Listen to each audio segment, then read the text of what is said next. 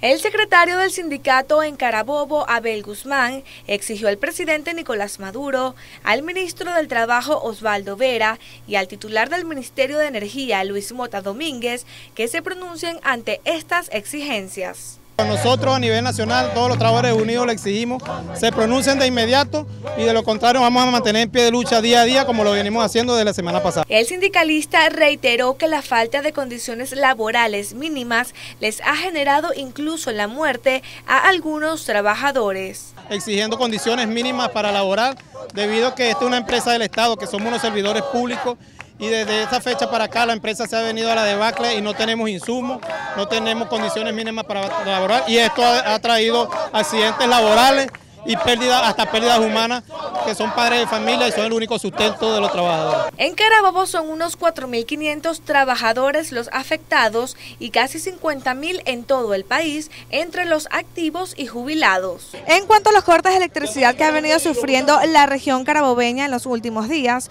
Guzmán detalló que el Estado está aportando 150 megavatios de los mil que se necesitan, por lo que es uno de los estados más afectados. En Carabobo, Gabriela Zuniaga, CRN.